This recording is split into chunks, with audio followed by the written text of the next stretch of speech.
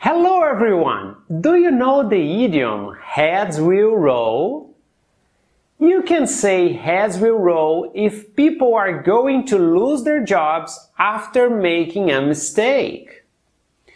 This idiom is a metaphor based on the fact that the head of a person who has been executed by guillotine will roll around a little after falling into the basket below the blade.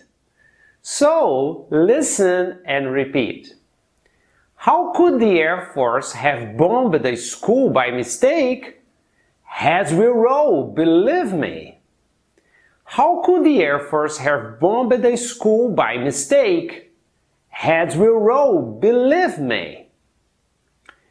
Have you any idea how much money this mistake will cost the company? You can be sure that heads will roll. Have you any idea how much money this mistake will cost the company? You can be sure that heads will roll.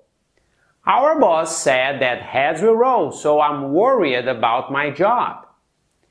Our boss said that heads will roll, so I'm worried about my job. Very good! Excellent! Right now a sentence with heads will roll on the comment sections below and improve your English. If you like this video, follow us on Instagram and Facebook and subscribe to our channel on YouTube Melhore seu inglês, Improve Your English and to our podcast Melhore seu inglês, Improve Your English.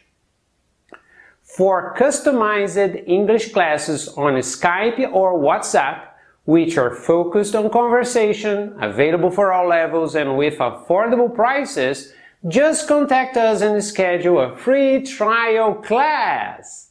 Keep studying English and see you next time!